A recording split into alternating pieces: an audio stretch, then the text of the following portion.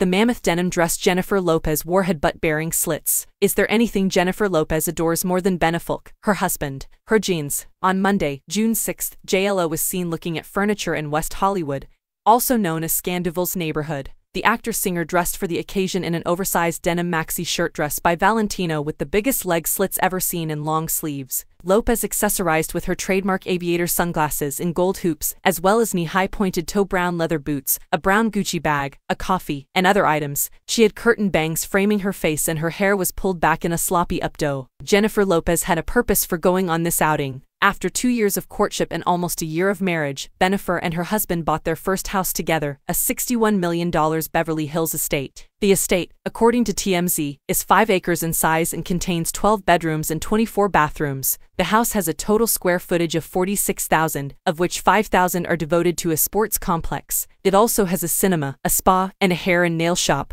Although Lopez and Affleck are accustomed to living in mansions, they will undoubtedly require new furniture and decorations to furnish this one.